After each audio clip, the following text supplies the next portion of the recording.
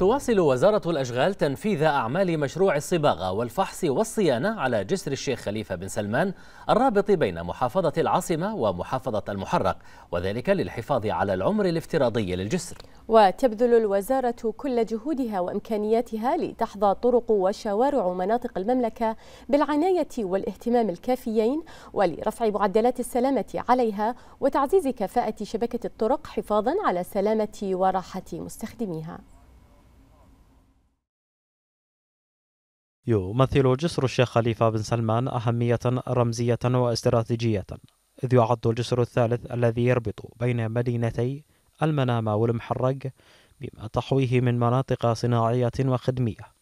كما يعتبر مسارا لخطوط الضغط العالي وأنابيب المياه المحلاة التي تمتد على مسار الجسر من محطة الحد للكهرباء والماء إلى مناطق الاستهلاك في مختلف محافظات المملكة.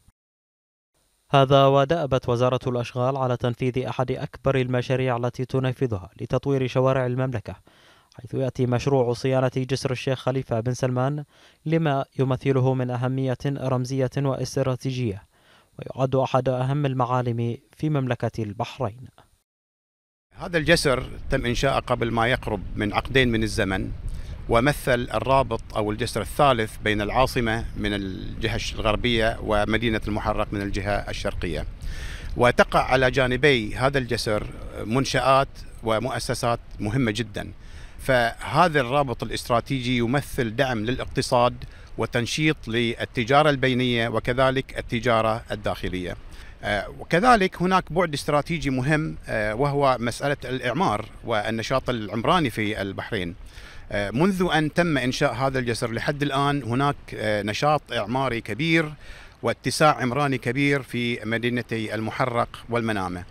آه، وما زالت مستمرة لحد هذا الوقت وستستمر لما يمثل هذا الجسر من أهمية استراتيجية وفرص للأعمال والاستثمار.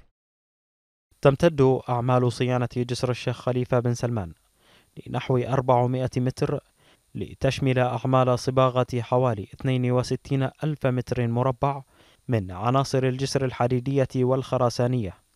كما سيتم استبدال فواصل التمدد للجسر وصيانة نظام الحماية الكاثودية للحفاظ على تسليح أعمدة وعناصر الجسر الرئيسية من التآكل والصدأ.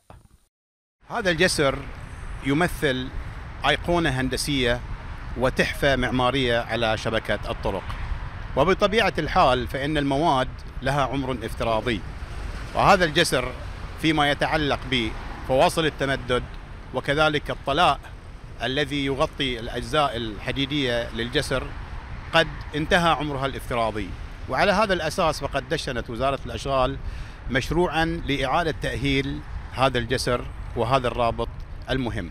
على أن يتم الانتهاء من هذا العمل بإشراف من مهندسين مؤهلين من قبل وزارة الأشغال ليصبح هذا المشروع وهذا الجسر أيقونة جميلة من جديد على شبكة الطرق في البحرين. وزارة الأشغال تبذل جهودها في تطوير البنية التحتية في كافة محافظات المملكة. لا سيما مشروع تطوير جسر الشيخ خليفة بن سلمان الذي يجري تنفيذه وفق أعلى معايير الدقة مع مراعاة انسيابية الحركة المرورية على هذا الشارع الاستراتيجي. على نحو يتماشى مع متطلبات المرحلة الحالية المحققة لأولويات وأهداف برنامج الحكومة 2023-2026 وتوجهات رؤية مملكة البحرين الاقتصادية 2030 بما يدعم التنمية الشاملة وأبعادها المختلفة ويحقق النمو الاقتصادي المستدام. يأتي تطوير جسر الشيخ خليفة بن سلمان في إطار برنامج صيانة الطرق الذي تنفذه وزارة الأشغال وذلك من أجل حماية الأصول والمحافظة على شبكة الطرق لضمان استدامة الخدمة ورفع مستوى السلامة المرورية عليها. خالد العون لمركز الأخبار تلفزيون البحرين.